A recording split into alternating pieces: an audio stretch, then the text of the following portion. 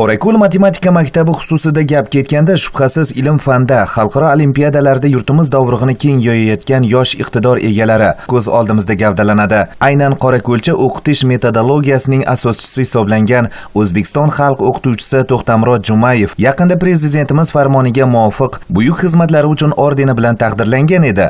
Buxoro davlat universiteti rektori rahbarligidagi jamoatchilik vakillari mehnat faxriysi qadrli ustozni muborakbod qilish maqsadida qorako'l akademik litseyiga tashrif buyurdilar.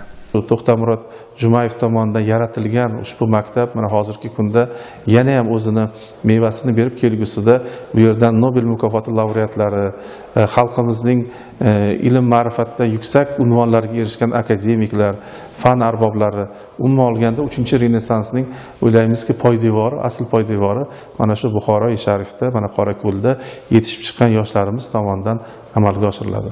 Shu kuni buyuk xizmatlari uchun ordeni sohibi bilan uchrashib dildan suhbat qurildi.